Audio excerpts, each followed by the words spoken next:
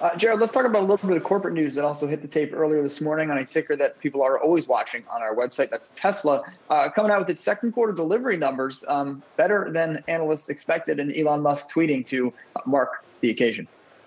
Yeah, exactly. Uh, quarterly deliveries for the second quarter came in at 202,250, something in there. I might be off by a thousand, but that was a good uh, number, good enough for a record number. There are a lot of concerns about slowing uh, deliveries, particularly in China. Can the rest of the world kind of pick up the slack?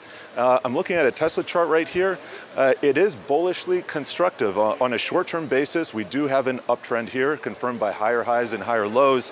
we've gotten above the 50-day moving average and also this negative trend line right here, it just managed to break out of. So could find some momentum here to the upside when we get some more uh, catalyst for it. We know we're going to be heading into earnings season, so I think we get their earnings in about a month or so.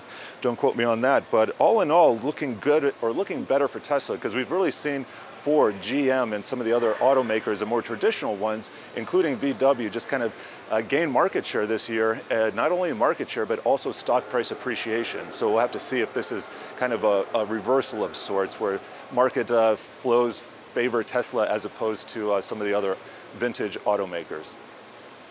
And Jared, we're also heading into the uh, July 4th weekend. Is there anyone down there on the floor? I'm here. Um, I'm looking around. It is That's a little bit matters. quiet.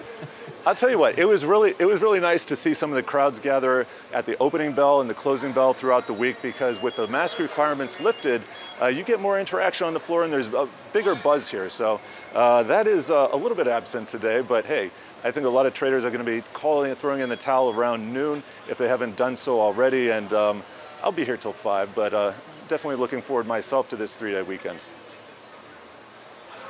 We know you will, in fact, be there until the lights shut down. Jared Blikre, we'll check back with you later.